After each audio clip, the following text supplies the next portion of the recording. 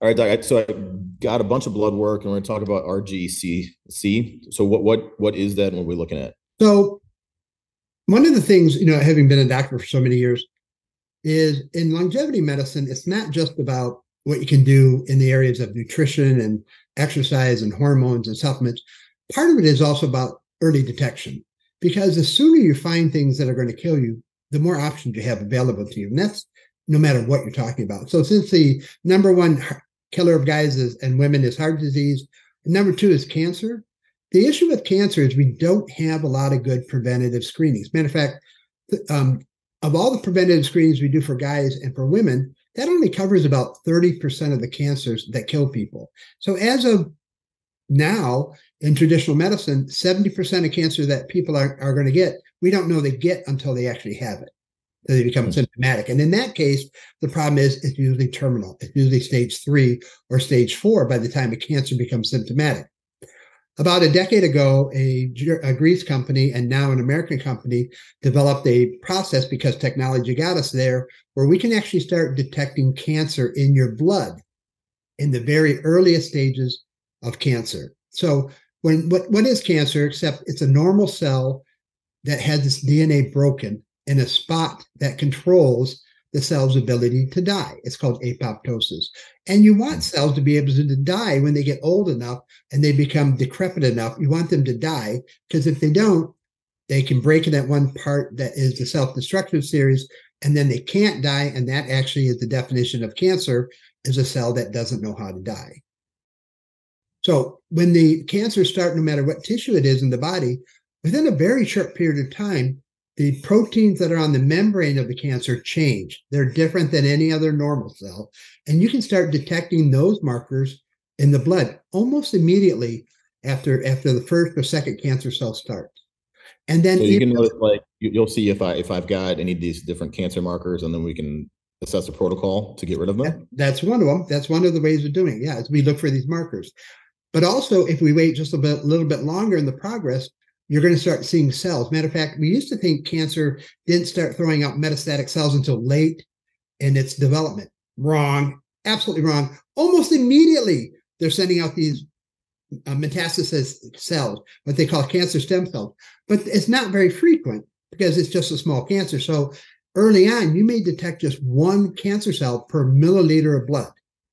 But we have the technology to do that now. So we're talking about being able to detect cancer in every person months, if not years, before it even shows up on an x ray, and definitely years, if not decades, before it becomes clinically significant. Wow.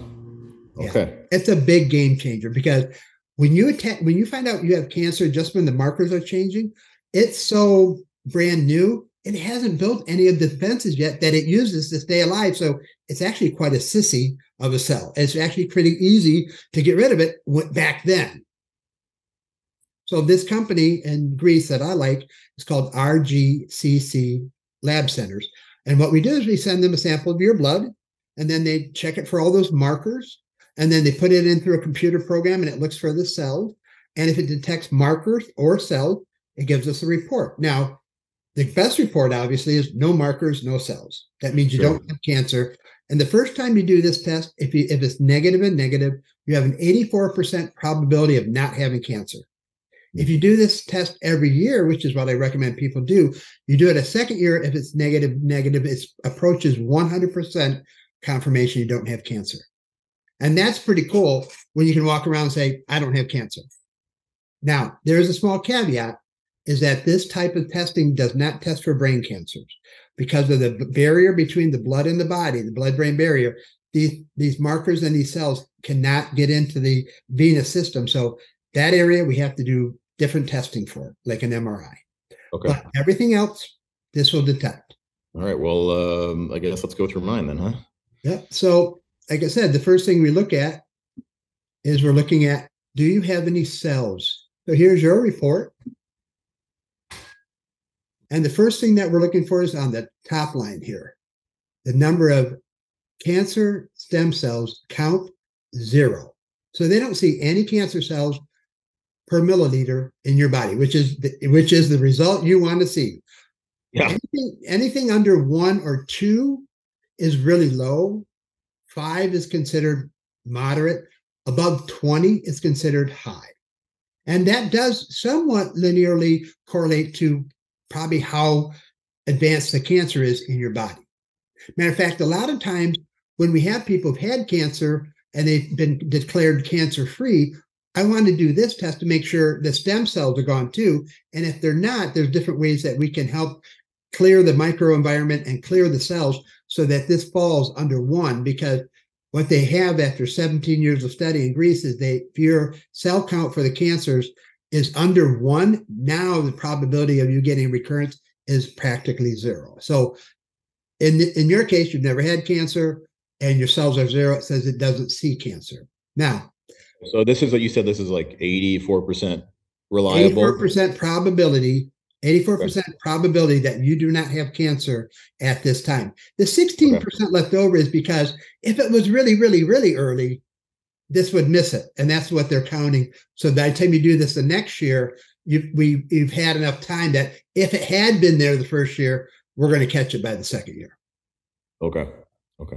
So the next thing we're looking down here is for the markers. And these are all these are called cell markers.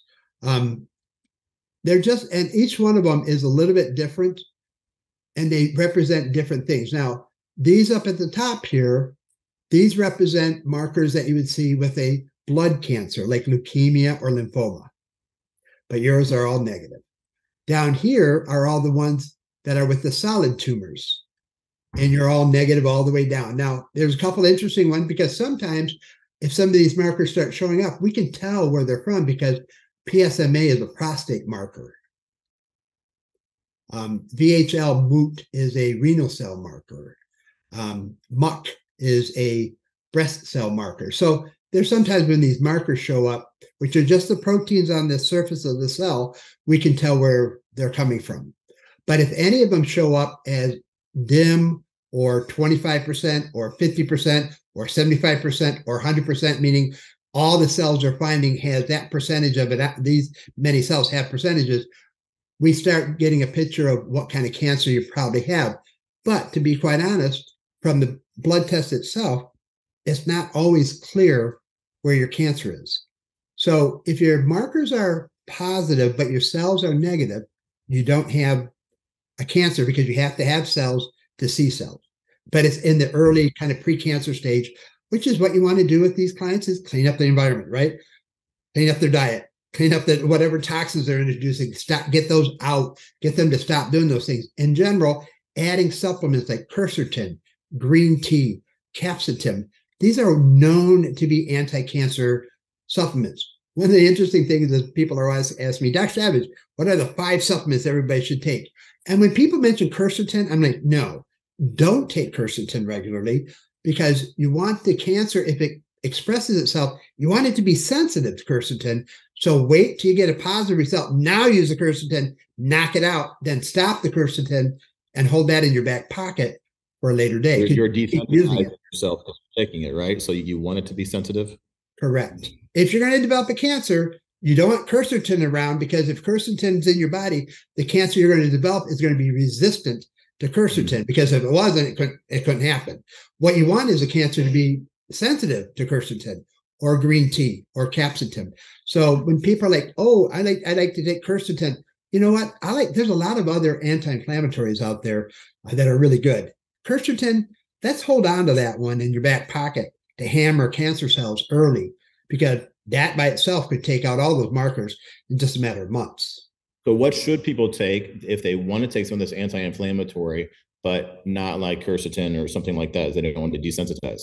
A great diet, lots of vegetables, lots of color. I mean, it's like let's let's start with the basic, folks. Take a great diet. Okay, you got to have a great diet. You got to get rid of all the Western diet food. You got to get all the trans fats. You got and please make sure that you're cleaning your vegetables and you're cleaning your fruits and you you wash them well to get all the pesticides and toxins off the vegetables because they're everywhere now in the United States. I mean, it's sad that the United States is only is one of the countries in the world that allows us to put all this stuff in our fields on our food, where people like South America, European Union, it's not allowed.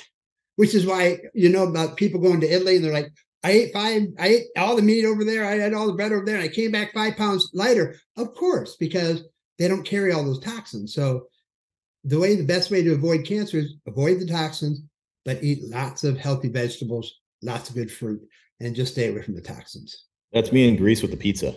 Yeah, I mean, but that's the same thing. You can eat the pizza in Greece. You can eat the pasta in Italy. You can eat the bread in France. And all the clients that I've ever known, and I've been doing this for 40 years, they come back lighter and they're like, why is that happening? Because it's in the food.